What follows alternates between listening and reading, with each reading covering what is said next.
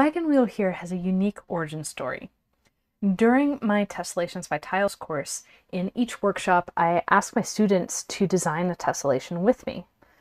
Well, this tessellation came out of the hexagons and triangles six-fold tiling, and we use the island's symmetry. So we have a central and an outer hexagon with the same triangle used throughout. Now here we chose a closed central hexagon, a open triangle at two pleat spacing, and then a closed outer hexagon on the back side. This creates a really dense spacing, so we've got twists overlapping with each other on the back. But what we noticed is that we create these wheel structures that really reminded us of wagon wheels, such as Darius Rucker's song, Rock me, mama, like a wagon wheel. Rock me, mama, any way you feel. Hey, hey, mama, rock me.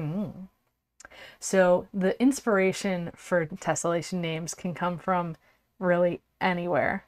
And I love designing tessellations with my students and helping them see these choices that you can make and create new designs without having to create things that are super difficult.